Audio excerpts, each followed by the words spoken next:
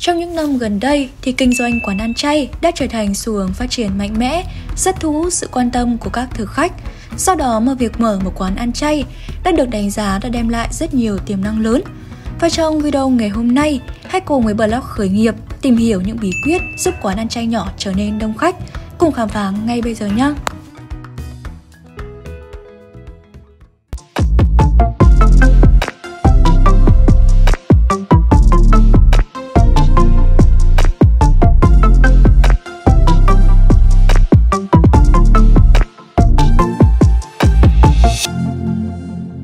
Chọn địa điểm mở quán ăn chay gần với khu vực có đình, chùa. Chọn địa điểm mở quán ăn chay gần khu vực có đình, chùa chính là một trong những bí quyết để giúp quán ăn chay nhỏ của các bạn đông khách. Việc mở quán ăn chay ở những vị trí như vậy sẽ thu hút khách hàng đông hơn so với việc đặt quán trong khu vực trung tâm sầm uất. Sau khi tham gia lễ chùa, du khách thường mong muốn tìm được một quán ăn chay nào đó để thưởng thức. Nếu có một không gian mở, thoáng đãng và chỉ cách chùa có vài trăm mét, đó sẽ là vị trí lý tưởng để mở quán ăn chay. Bí quyết giúp quán ăn chay nhỏ đông khách, học hỏi kiến thức về đồ chay. Nguyên liệu sử dụng trong việc chế biến các món ăn chay thường khá là hạn chế so với các nguyên liệu tạo nên món mặn. Điều này đặt ra yêu cầu cao về kiến thức ẩm thực cho người chế biến để có thể tạo ra những món ăn chay hấp dẫn và sáng tạo, đồng thời vẫn đảm bảo sự đa dạng và ngon miệng cho thực khách. Thành phẩm cuối cùng vẫn phải giữ nguyên được màu sắc, hương vị và vị thanh đặc trưng của đồ chay, cũng như đảm bảo cân đối dinh dưỡng. Vì vậy, nếu bạn thiếu kinh nghiệm hoặc là kiến thức về ẩm thực chay, thì việc tham gia các khóa đào tạo tại các cơ sở uy tín chính là giải pháp tốt nhất để nâng cao kiến thức và kỹ năng chế biến đồ ăn chay của bạn. Thực đơn quán chay đa dạng và phong phú Thực đơn quán chay đa dạng và phong phú chính là một trong những bí quyết giúp quán ăn chay nhỏ của các bạn đông khách vì vậy, các bạn cần tập trung đầu tư mạnh mẽ vào việc thiết kế menu của mình. Đối với quán ăn chay bình dân, menu cần đảm bảo sự đa dạng, hấp dẫn, đẹp mắt để khách hàng có nhiều sự lựa chọn, không bị nhàm chán. Và một cách hiệu quả để làm điều này chính là các bạn hãy tham khảo các thực đơn của những quán ăn chay khác hoặc là tham gia các khóa học chuyên sâu để phát triển công thức chế biến riêng biệt. Điều này không chỉ tạo ra sự sáng tạo ở trong menu mà còn giúp cho quán cơm chay của bạn có nét độc đáo và thu hút được khách hàng.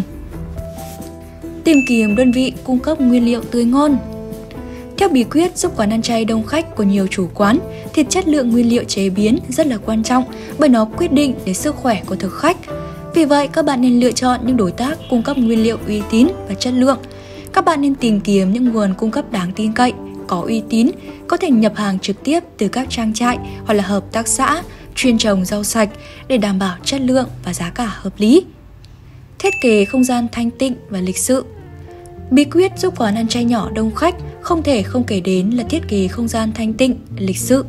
Việc thiết kế và trang trí quán ăn chay cần phải làm sao tạo ra một không gian hài hòa, mang nét đẹp trang nhã và mang đậm chất thuần Việt – thường theo hướng phương Tây và là sử dụng các vật dụng đơn sơ mộc mạc để tạo nên không gian thanh tịnh, giúp thực khách cảm thấy thoải mái nhất khi đến đây thưởng thức món ăn chay. Điều này không chỉ nhằm mục đích làm cho quán ăn phù hợp với đồ chay mà còn gia tăng trải nghiệm khi ăn uống của khách hàng. Nhiều người lựa chọn quán ăn chay không chỉ để thưởng thức đồ ăn mà còn để trải nghiệm môi trường khác biệt. Do đó, việc thiết kế không gian chính là một yếu tố quan trọng không thể bỏ qua. Hơn nữa, lựa chọn phong cách thiết kế cũng phụ thuộc vào mô hình kinh doanh của quán, chẳng hạn như gọi món riêng hay là buffet, sao cho đảm bảo cho được sự thoải mái, trải nghiệm trọn vẹn nhất dành cho khách hàng. Bí quyết giúp quán ăn chay nhỏ đông khách, điểm duyết yếu tố tâm linh. Sự khác biệt chính giữa quán ăn chay và các quán ăn thông thường nằm ở điểm này. Đầu tiên các bạn nên chọn tên quán thật là ý nghĩa. Tên của quán ăn chay thường mang thông điệp về sự giải thoát, thoát tục gắn liền với Phật giáo. Bên cạnh đó, các bạn có thể trang trí bên trong quán bằng những bức tranh về Đức Phật, hoa sen. Điều này sẽ tạo nên một không gian mang đậm tính tâm linh, thiền định và đây là đặc điểm độc đáo mà các quán ăn thông thường sẽ không có. Xây dựng văn hóa quán ăn nhẹ nhàng và nhã nhặn một trong những bí quyết giúp quán ăn chay nhỏ đông khách phải kể đến là thái độ và kỹ năng phục vụ của đội ngũ nhân viên. Nếu nhân viên phục vụ luôn khó chịu, to tiếng và nặng nề, khách hàng sẽ cảm thấy khó chịu mà cảm thấy không hài lòng và có ý muốn quay trở lại quán. Vì vậy, các bạn cần tập trung vào việc tuyển dụng và đào tạo nhân sự có thái độ tích cực, niềm nở, nhẹ nhàng, tôn trọng và sẵn sàng hỗ trợ khách hàng mọi lúc. Đồng thời, việc đầu tư vào đồng phục không chỉ giúp tạo nên sự đồng nhất trong đội ngũ nhân viên mà còn là một cách quảng bá quán của các bạn rất là hiệu quả luôn đó. Xây dựng chiến lược marketing Marketing là bí quyết giúp quán ăn nhỏ đông khách cũng như tăng độ phủ sóng cho quán. Để tiếp cận một lượng lớn khách hàng và xây dựng uy tín cho quán ăn chay, các bạn không thể không đầu tư vào phương diện này. Có rất nhiều giải pháp marketing mà các bạn có thể xem xét. Tất nhiên cần cân nhắc đến quy mô và mục đích cuối cùng là để lựa chọn sao cho phù hợp và hiệu quả nhất. Các chiến lược marketing truyền thống như là phát tờ rơi, phát voucher, treo băng rôn, sử dụng standee và thực hiện bootstrapping chính là những lựa chọn phổ biến. Ngoài ra, marketing online cũng rất là quan trọng để mở rộng phạm vi tương tác trong thời gian ngắn. Ví dụ như Google Ads, Fanpage, tham gia trên các mạng xã hội như là Facebook, Zalo, Instagram, TikTok, triển khai các chương trình thẻ tích điểm để khuyến khích khách hàng đến thường xuyên quán ăn chay của bạn.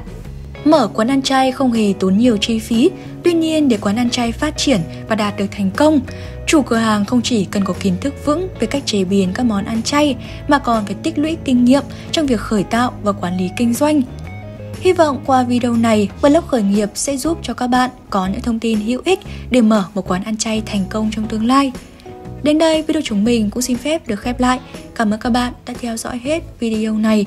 Đừng quên nhấn like, share và đăng ký ủng hộ kênh để nhận thêm nhiều video mới nhé. Còn bây giờ thì xin chào, hẹn gặp lại các bạn trong video ngày mai nhé. Cảm ơn các bạn đã theo dõi video này của blog khởi nghiệp. Hãy nhấn like, share và đăng ký kênh để nhận được những thông tin hữu ích nhé.